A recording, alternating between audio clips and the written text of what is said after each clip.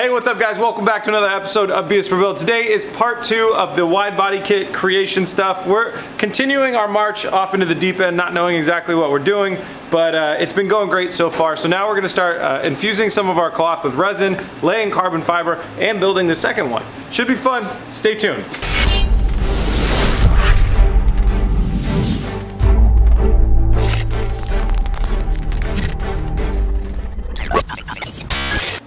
Before we get down to work today, I want to take a second out to thank our sponsor. Today's episode is sponsored by the mobile game Raid Shadow Legends. Raid is already a mega hit blockbuster game with over 10 million players. It'll take you to a world of real, dark fantasy and realism. For those of you guys that don't know, Raid Shadow Legends is a brand new collection RPG game. You can collect over 400 champions, you can gather orcs, elves, undead, knights, and more. You can explore over a million different champion builds. I really love the versatility to this game and discover 13 really cool different locations. And the best part is, it's free to play. Check out these different champions. The details are really amazing. You can see the good graphics and the textures on the different armors. And what I love about this game is everybody can find something to do for themselves. Some people like collecting characters. Some are all about the deep storyline and the graphics. I'm personally down for the combat. I like the PvP aspect of the game. And personally, I really like the game, but you don't have to take my word for it. With over 200,000 different reviews, Raid has almost a perfect score on the Play Store. This game is growing super fast and they actually have really huge plans for the game over the next six months. So there's infinite content for you to enjoy and no time to get bored. So what are you guys waiting for? You got nothing to lose. It's free to play. Guys, the link's in the description below. If you go click my link in the description below, you're gonna get started with 50,000 free silver and a free epic champion to get you started faster as part of the new player program. Huge thanks to Raid Shadow Legends for sponsoring this episode. Now let's get down to work. Getting started, I unfortunately gotta I gotta undo some of this awesome fabric uh, stuff. Uh, we didn't build enough supports in here to have this thing be like this car is supposed to go really really fast, right? We don't have enough supports. All we have is here, up here, and a couple in there, which doesn't leave much for down here. Although when it's fabric, it's really cool to have a variable width body kit. Uh, that can't stay that way. So we need to uh, build some supports into the quarter panel and some other spots, and to do that, we got to pull the fabric back. So undoing the fabric, build a couple supports. Hopefully it'll be gently placed back where it came from without too much hassle.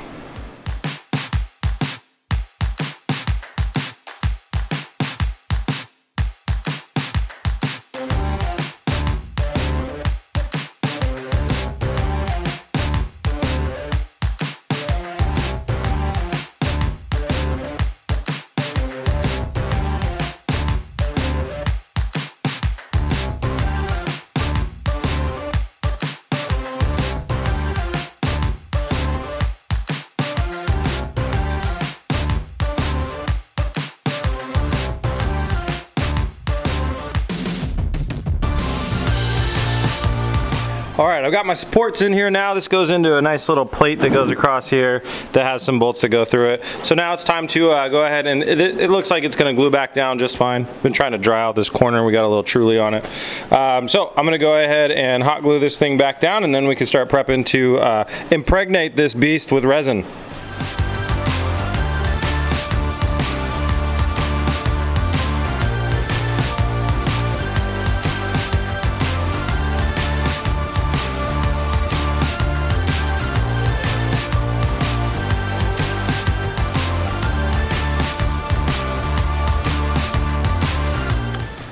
All right, we're back in order. Everything came back together okay, and now we have a nice wheel gap without anything under there. Look at the, look at the magic. This is very technically difficult to mount because of how it's got an open back and an open front. We don't really want people to see the stuff, but it came out pretty good.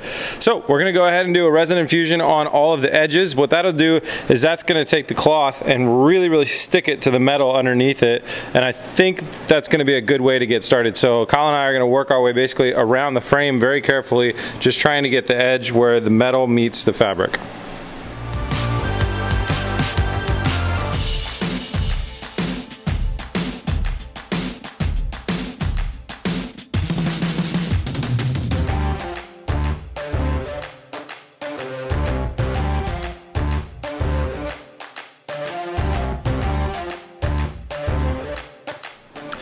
All right, last night we came in and laid resin along all the metal parts and uh, and just all, around all the edges, and it actually really did a great job of really firming up the fabric where it soaked through, where it got infused with resin, made it a lot more firm. So it's, it's still flexy in here, but once you get up here, it's a lot more firm, and it's gonna be able to hold the weight of the fabric that we put on it next. So now we're gonna grab a bigger brush and just kind of come along here and, uh, you know, infuse the whole thing with resin.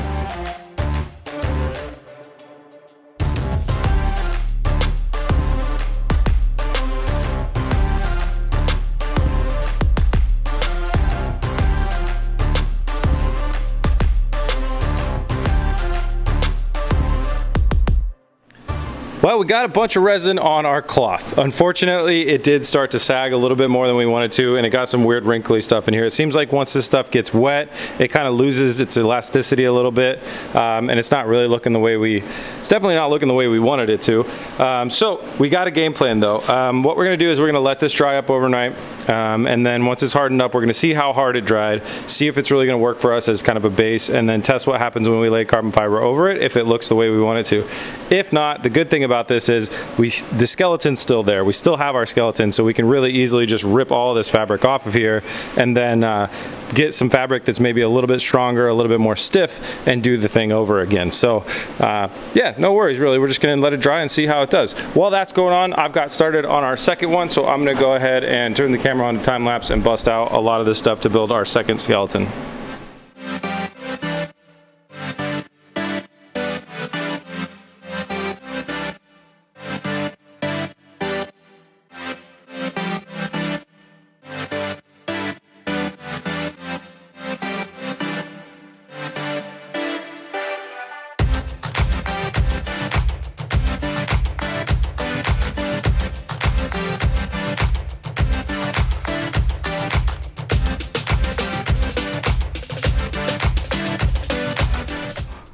Update. So we're making some progress over there. Kyle just busted out another piece and we got the frame started. You can kind of see that right there. Now we took the fabric off of here because uh, it was sagging. We it, it, was kind of going in a bad direction. And while it was still wet, I kind of made the decision to pull it off because a viewer, shout out to Ben, actually left a really nice comment about this uh, material. It's called like I want. I think it's called Ceconite, uh, and it's uh, it's C E C O N I T E, and it's a fabric that you can buy and they use it for airplanes and they you can drape it over stuff you glue it down and then you hit it with a hot glue gun and it tenses up really really it shrinks back and gets really really really strong. Uh, so that sounds like exactly what we need for this type of project. So I figured you know what let's pull the fabric off while it's still wet so it's gonna be less of a problem and uh, we can try and do this with the right types of materials that we need. So this dried up overnight and uh, it would have worked. It's like it's hard hard now. So it, it would have worked if we probably did uh, just a little bit lighter coats. If we went really light on it, it probably would have worked just fine. But I'm really excited about the Ceconite stuff. So we got to give it some time to come in the mail, but I think it's going to be exactly what we need for this. So that's pretty cool. So we're going to go ahead and continue now on building this frame. That way we can get this thing busted out and ready. So when we have the Ceconite, we can do both sides at once. And then we can just probably lay carbon right over that.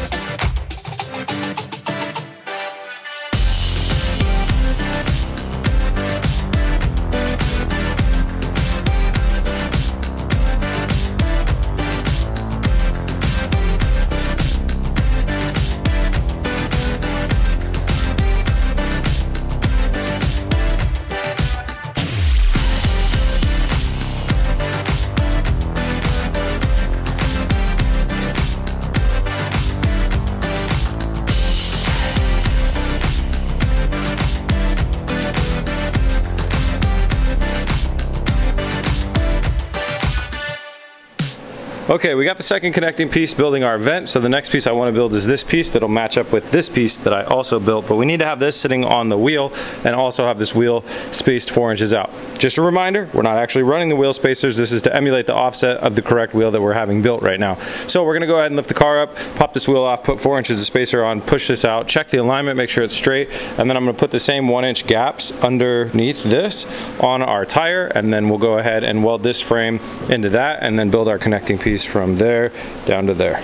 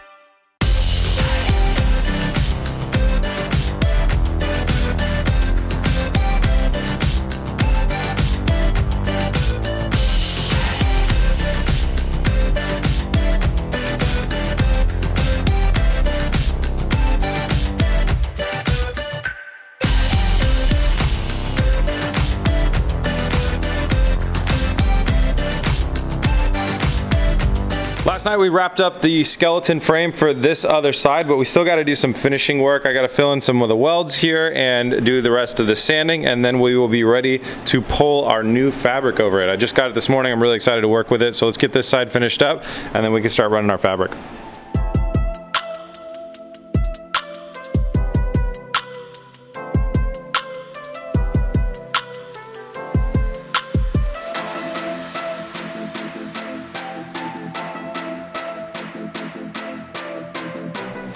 But this skeleton is wrapped up and ready to be, well, wrapped in fabric. While that was going on, the guys from Truly came by to drop off a little care package.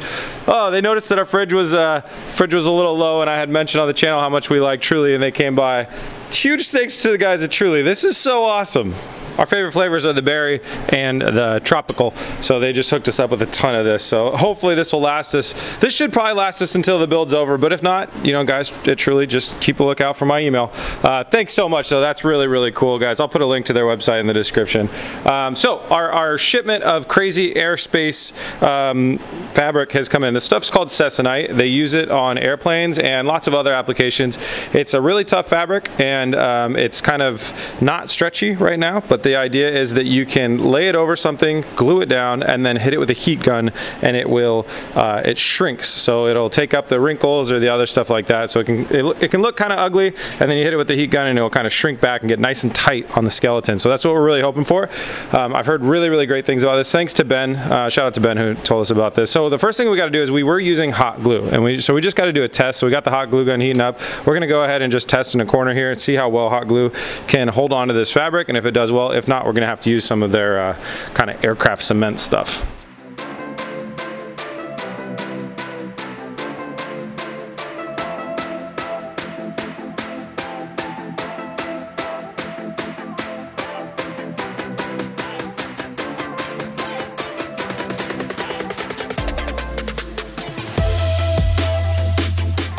Right, so far the Ceconite stuff was a real big success. Well, I mean, it's just any type of fabric, but we were able to stretch it on here and glue it on without any trouble. So you can see we got some wavies here, and that's the stuff that we should be able to heat gun right out. But we really don't have that many. We got some natural kind of creases in the fabric, that's no big deal, and a little bit of stuff back down here, but Really, I mean, we pretty much could start laying carbon fiber over this right now if we wanted to, but we're gonna go ahead and hit it with a heat gun after we go ahead and do the other side. So Kyle's gonna go ahead and wrap the other side in some of this crazy aircraft fabric.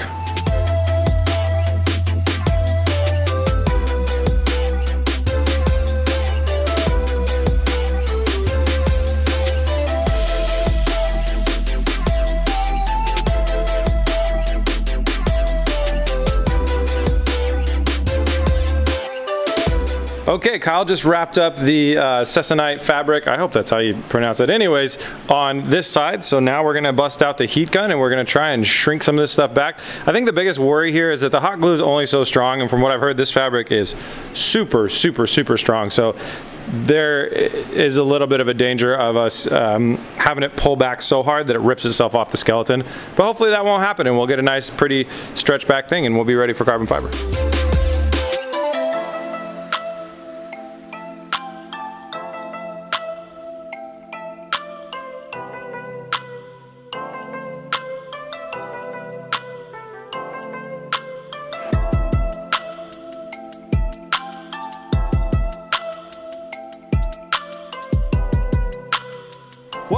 Stuff is freaking magic. I know I've said this already, but huge thanks to the viewer Ben who let me know about this stuff. Guys, I do read comments. I do take your advice. This was clutch. This was so cool. Uh, if you ever have a job that needs something like this, I highly recommend. This stuff has really good shrink back. It's nice and strong feeling.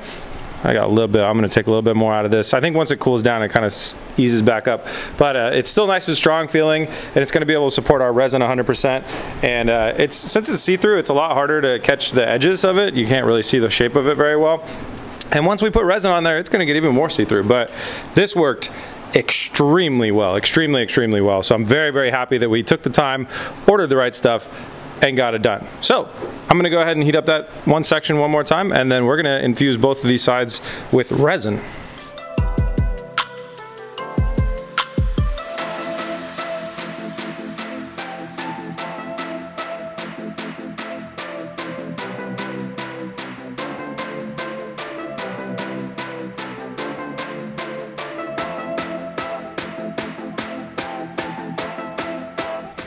All right, guys. Well, the resin infusion process is done, and we have given it time to dry up. So you can see it's it's an interesting uh, look to it. It's it's nice that it's it's glossy now because you can kind of see the shape of it. Uh, it. the the material itself is a little bit hydrophobic. It didn't it like did a little bit of beating up and stuff like that, which is no problem at all. And now that it's dried, it's kind of got like a plastic texture. It's almost like we wrapped this in like a really heavy duty plastic. Very very strong bond all around the edges, which is super good for what we're trying to do. So that was really cool. It worked out pretty well. Um, on the other side, it's a little bit more smooth, but it's, it's the same thing.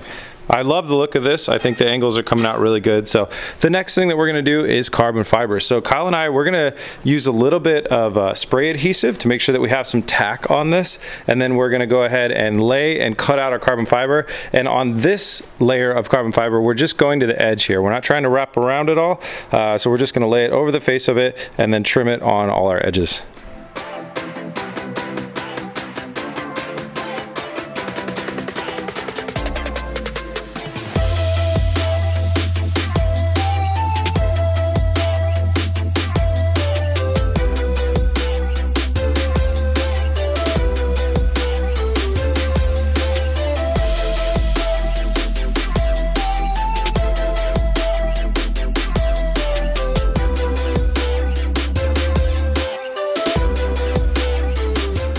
We got our carbon wrapped over our panel so that using that adhesive really made it stick and follow the lines really well. So pretty confident that when we apply the resin here, it's all gonna stay in the spot where we want it.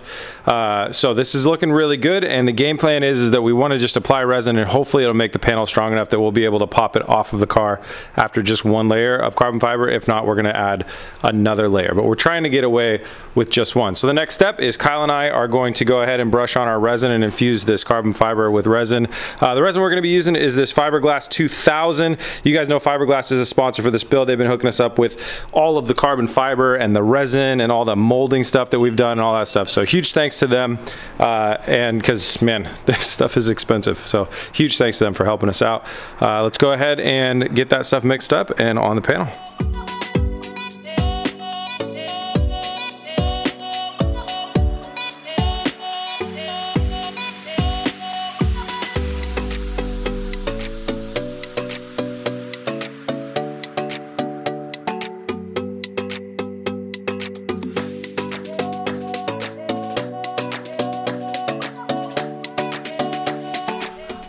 Guys, it's the next day and our carbon fiber has dried up. This this worked really, really well. So now we got a nice, harder surface for sure. It's got a lot of structure to it. It's feeling really, really strong already.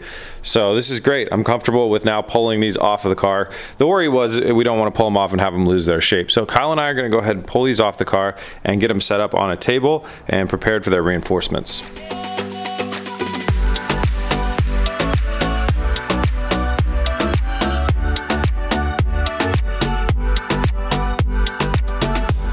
We got our pieces off. I'm so, I'm so, I'm just so happy with the way that this process has been going, man. This is really, really cool.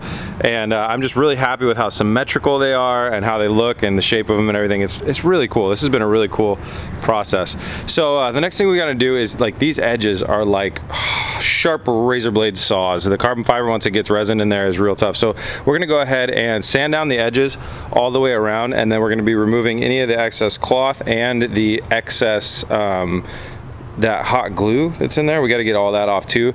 Make sure we got a nice clean round edge here.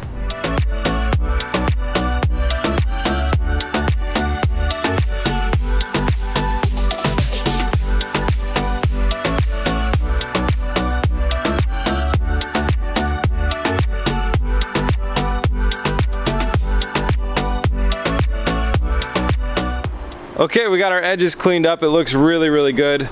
Um, with all the edges kind of nicely trimmed up and everything, it's, it's looking really, really cool. I'm really, really excited about this.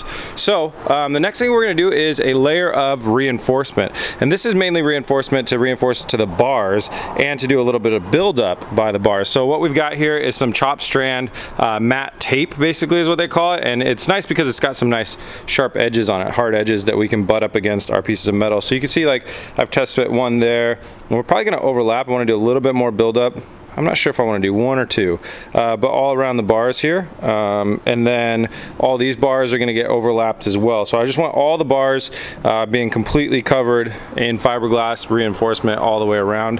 And then we'll get ready to infuse them with resin.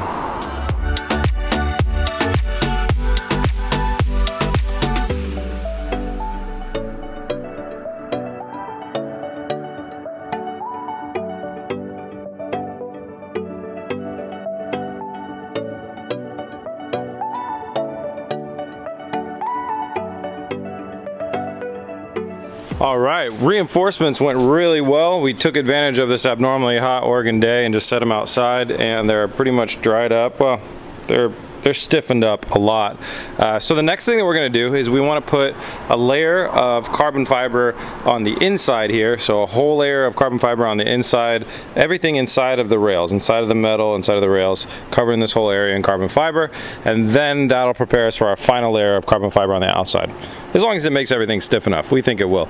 So we're gonna go ahead and just use all our scraps because this stuff will never be seen. So we're just gonna grab all, we have tons and tons of scraps from all the door pieces and, and making these pieces and stuff like that. So that's probably the most economical way. We're just gonna lay in a bunch of layers of scraps all through here.